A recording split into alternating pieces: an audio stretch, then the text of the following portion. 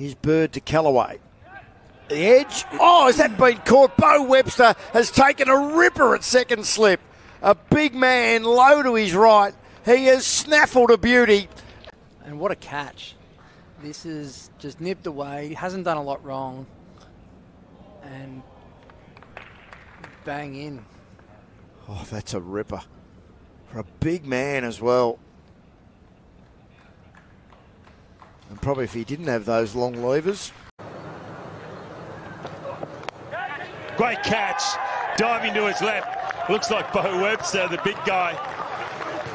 And Hazard's gone after it. And he's paid the price. What a beauty there from Beau Webster.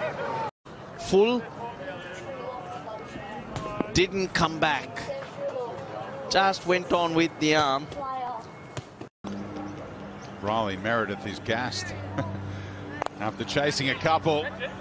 Oh, what a catch! Beau Webster pulls in the one-hander and Lehmann's lucky knock is over on 34.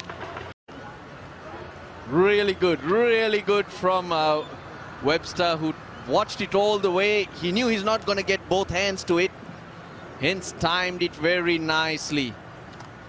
But Andrews as well slowed it up just a wee bit. The fielder came across the point. Oh, strike, but brilliantly caught. Beau Webster. It was smoked off the bat. Let's have another look at it. That was going quickly, horizontal to the ground, hangs on. He's held some magnificent catches this summer. This could be one of the better ones. Uh, oh, the edge is at a catch. Webster's done it again. What a superb catch. And Jackson Bird strikes again. Greenman to get rid of Campbell Kellaway. Low down to his right, a one hander in the first innings. And now Matt Ryan, like the Australian. Let's hope he does save them like that tomorrow night against Tunisia.